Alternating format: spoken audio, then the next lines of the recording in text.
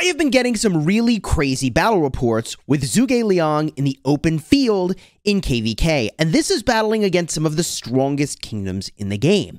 So in this video, I'm going to go over some of these really crazy battle reports, but also the critical testing that helped me land on the very best Zhuge Liang combos that you can use to get crazy results in the open field.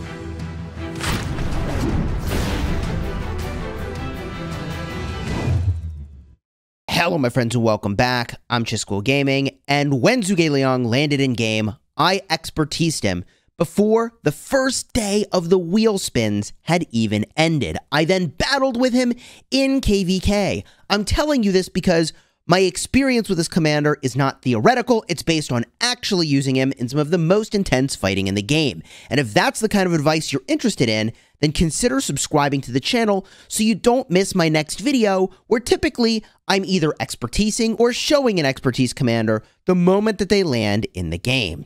So in this video, here's what I want to do. I want to remind you of the skills that are on Zhuge Liang. I then want to show you the test results where we battled with tons of Zhuge Liang combos to figure out which ones are actually the best. And then I'll share with you a little bit of my experiences with this commander, pulling down 10 million kills in a matter of days. And by the way, that's with my second best set of gear being equipped to him. So I don't even have my best armaments and best equipment on him. That's reserved for Boudica Prime, who's running a different combination entirely. So let's get started with Zhuge Liang, who, by the way, is just better Esong. Like, if you're wondering, how do I think about this commander? Just much, much better Esong. We proved in our testing that at about 5, 5, 1, 1, that's maxing the first two skills, bringing them to 5, you'd get an equivalent result to an Esong. And I'll show you that in the reports in a minute. So if that's true, where you can use a 5, 5, 1, 1 Zhuge Liang and do as well as an expertise song, sure, they do slightly different things, but that's important. So why does it work this way? Well, he does 2,000 damage factor to five targets, and the damage dealt to each target is reduced by 15% for each additional target that you hit. This is crazy. One thing that we learned from Wick Gaming back in the day is that this damage reduction caps out at 50%. Once I hit you, I think you hit like four or five targets, it'll stop going uh, to, to have more damage reduction per additional target that you hit. And that's important because that means the more stuff you hit with this commander, the better. It's just always better. Okay. Uh, it does spread your damage around more, but that's a different matter entirely. In addition, all targets deal 15% less damage for the next three seconds. Well, that's crazy. That's very strong. So he's doing AoE damage and AoE debuffs.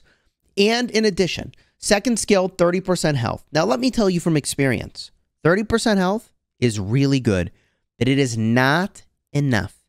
A commander with 30% health and no other defensive stats is a squishy, swarmable glass cannon. Sounds crazy. It's true. Now, in addition, they also deal 5% more damage with archers. And when this commander's troop is inflicted with a control effect, that includes things like silence, disarm, and heal immune, for example, it has a 50% chance to negate that effect and deal direct damage of 500 to the attacking troop. And it does that once every 5 seconds. Crazy. Third skill. If you have only archers, deal 20% extra skill damage, and your normal attacks have a 10% chance to increase your attack of your archers by 50% for 3 seconds. Okay, seems very good similar to Esong. Fourth skill, whenever this commander uses an active skill, their troop gains the marquee effect, increasing damage dealt by 10% for 10 seconds, if it doesn't already have it. Now, if you do already have marquee, then what happens instead? When you use an active skill, they'll consume the marquee effect to deal direct damage to up to three enemy troops, damage factor 1500. Now, that damage is not modified by buffs to skill damage, okay, but it's still a lot of damage nonetheless. Finally, the expertise skill. When you enter battle, you just start with the marquee effect. You'll see this as sort of a glowing effect around the commander, um, and this increases your damage by 10% for 15 seconds each time your active skill deals skill damage, um, or your fourth skill does skill damage. this commander's troop gains 30 rage, which is also amazing. So just like Esong, you have a boost to the damage you deal, you generate extra attack, you are generating rage, like there's you're doing area of effect damage. Just think of this commander as better Esong. If you're fighting in the field, the talent build is easy. You just use this. Very simple. If you're rallying, I suppose the build that you use is the full archer build, which would look something like this. You then go over here, grab these talents over here, grab these talents, and you should have only two talent points left over. So you typically go like so. And there is your typical rallying build. Now, I don't think you should be rallying with him as the primary. I haven't seen that really be a thing. The rally with him is Boudica primary with Zhuge Liang, or I, I've seen a little bit with Henry, but not much. Honestly, I see more Boudica. I, I suppose you could do Zhuge Liang primary and Henry as the secondary. That would be pretty reasonable, and this would be the build that you'd want to use. Now, this video is more about testing, though, and, and helping you understand which pairs are actually the best. And we tested an of Osiris practice match. We didn't use equipment we didn't use armaments because we wanted to get a sense of kind of whether or not he should even be primary or secondary or how exactly you should match him up. So if I scroll all the way down to the testing that I had done, this was with Yoda 808, I can show you these battle reports now. And what was surprising is that archers were beating cavalry. You've got Boudica Prime with Zhuge Liang beating Nevsky Joan. 28,000 to 25,000. That's insane. In addition, we ran it back 27,000 to 26,000. And we ran it a third time 27,000 to 25,000. If you're wondering what the very best Zhuge Liang pairing is in the game, it should not be surprising to hear that it's Boudica Prime with Zhuge Liang. That is the best pairing. From there, what can you do? Well, against a Guan Skippy, 41,560 to 17,700, that is a brutal result. I honestly almost titled this video Rip Guan Yu, but that would be super misleading clickbait because Guan Yu is still a great infantry commander. Uh, yes, he got beaten, but we ran now a Skippy Prime with Sargon, which is actually the best infantry combo and you get 33,600 to 25,800. Still a brutal result. We ran it again, 36,000 to 25,000. And then I tried running Boudica with Esong versus Boudica with Zhuge Liang. And you're looking at 31,000 to 21,000, almost uh, 22,000. So almost a 10,000 Sev wound differential in favor of Zhuge Liang. That is quality upgrades right there. We ran it again, 31,500 to 21,500, almost a 10,000 spread again.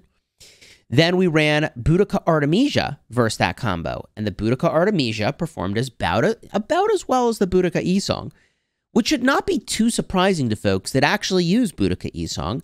It's a great combo. And if you also have Artemisia, you know that the big advantage of using her over an Isong is just how tanky she is. In terms of the damage output, I think that the Boudica with Isong still does very, very well. I tried Boudica with Honda Tadakatsu, and that did worse than the Isong. That did worse than the Artemisia. This should make sense because a part of what Honda is doing is a fat area of effect template, hitting many things, just like Ethelflaed's template is really big. It's half a circle. And so he does less skill damage to a single target. So in a duel situation, yeah, no, I mean, it did worse than the Isong even did. Uh, and then we tried more Nevsky Joan, but this time Zhuge Liang with Isong. Now, I have been a outspoken critic of this combo, but I appreciate that some number of people will kind of need to use it because it's what they have. And the reason I've been a critic of this combo is because of the march speed. Subsequently, I have used this combo all KVK long, and before you call me a hypocrite, understand that I am in the Orleans version of KVK, where you can apply what's called auxiliary skills. That's basically skills from one commander onto another. And I put 45% march speed using Edward of Woodstock second skill and El Cid third skill onto my Zhuge Liang song. So in the open field, I've been able to use it. Would I recommend it for most open field battling? No, I would not. That's not to say you can't do it. That's to say that you're a sitting duck. And as soon as people realize that there's a duck that needs to be shot, man, I'm telling you, they will swarm out your march. And even with all the extra health and defense, that's 30% health from Edward of Woodstock, second skill, and 20% defense from El Cid, third skill. And, of course, Yi-Song has 20% defense already from his museum buff, and Zhuge Liang has 30% health. I was still getting swarmed pretty hard in the open field with that combo. It's barely tanky enough.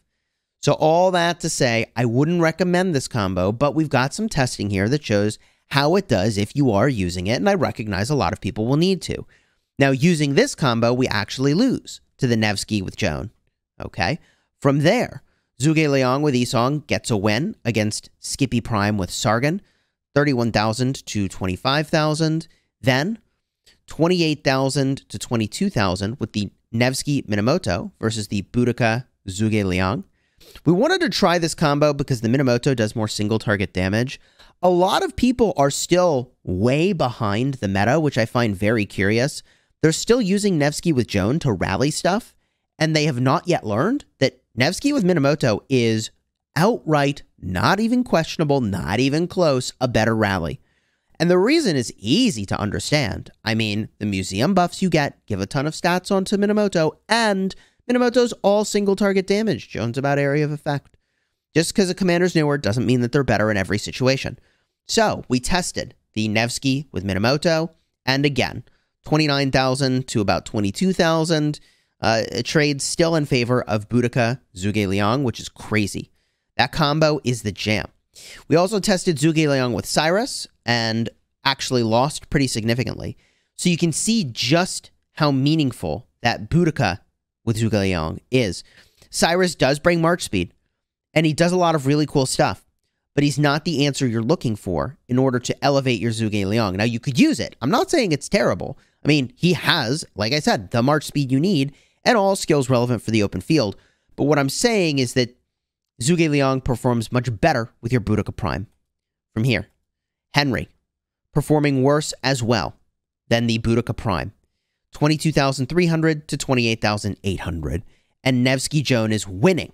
Remember, Boudica with Zhuge Liang was basically unbeatable, and Zhuge Liang with Henry is getting beaten. We ran it again. Is this a fluke? No, it's not. 22,900 to 27,700, so about 23 to 28. 5K differential again. This time a Henry primary did not really perform better. From there, Zhuge Liang with Nebu. Remember, this is the combo I plan to use when I'm not in this style of KVK and 22,000 to 31,000. So even though Nebu brings 30% defense, nice AoE damage, good kit overall, and currently people use Nebu with Yi-Song, well, Zhuge Liang with Nebu is just better, right? I would assume that it is, but still losing to the Nevsky Joan, not as good as the Boudica Prime. From there, 24,000 to 29,000, Ramses with Zhuge Liang versus Nevsky Joan. Uh, people were saying, hey, try the Ramses, try the Ramses. The problem with Ramses, remember, is that he has no base march speed. So he only gets triggered march speed when you're being attacked, which means, okay, you can run away sometimes, but not the combo, in my opinion, that you're ultimately looking for. We tried with the Tommy, but I knew this was going to be bad, and this was one of the worst results. 18,600 to 32,000. Big loss for Zhuge Liang with Tommy. And although Zhuge Liang seemed unbeatable at the start, that's because of pairing with Boudica. That's it. From there, Zhuge Liang with Amani, just to see what would happen. 20,000 to 34,000. Uh, one of the worst trades overall. Then Zhuge Liang with Honda's Tadakatsu. About a 9 to 9k differential here. 23,000 to 32,000. So it's still a brutal trade um, in favor of the Alex and Joan. Uh, that's Alexander Nevsky, GG. Uh, and then we tried, just for giggles, Sargon with Skippy. Now, Sargon is the primary instead of Skippy as the primary. Versus the Boudica with Zhuge Liang. and got about 30,000 to 29,000. So just barely lost the fight. Uh, but Sargon with Skippy was defeated.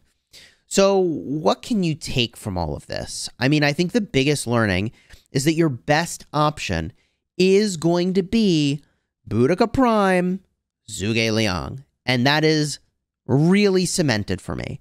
Now, the reality is that most people might run two Archer Marches, or they don't have Boudica Prime and they do have an E-Song.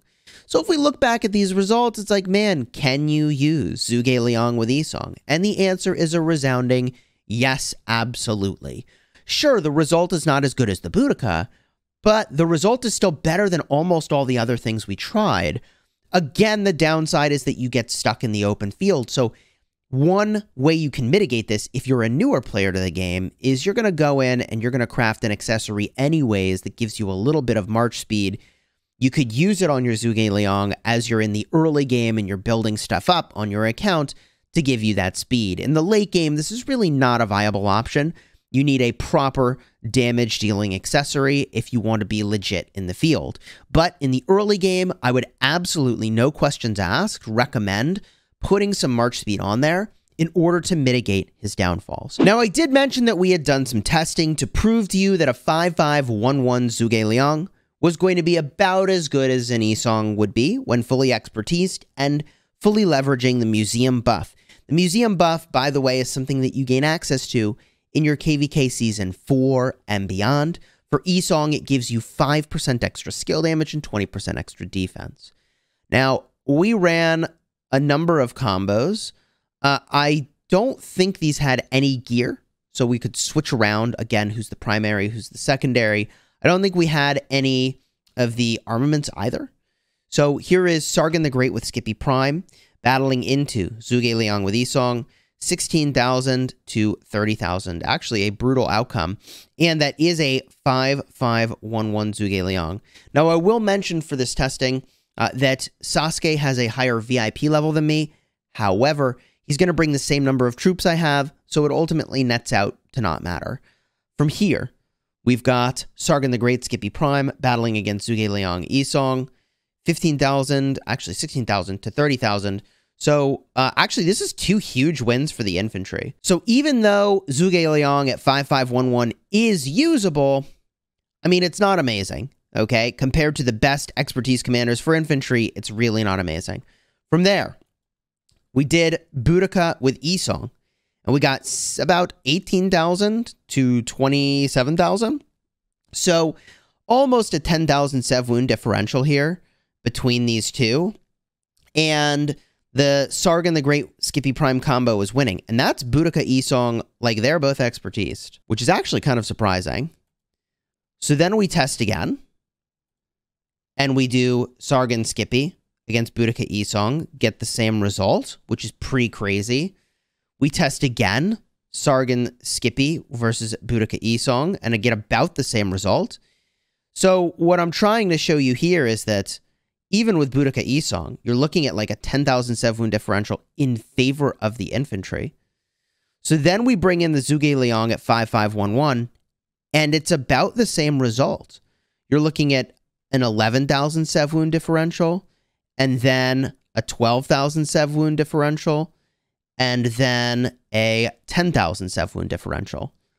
So the 5511 Zhuge Liang was about equivalent to the E-Song when we did the little switcheroo. But, you know, I think that the obvious benefit of a 5511 Zhuge Liang is that he can just get better as you put more skills into him, right? Then I started using Nevsky Joan and he used Boudica Zhuge Liang with 5511 on that Zhuge Liang skill configuration, about a 10,000 Sev wound differential.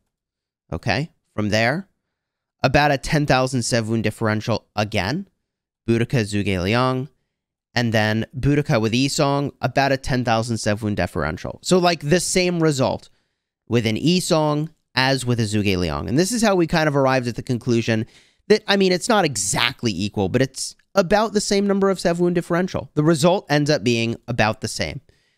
Here is maybe the one time it was a little bit more, 17,000 to 32,500. That, that's a wider gap. Okay.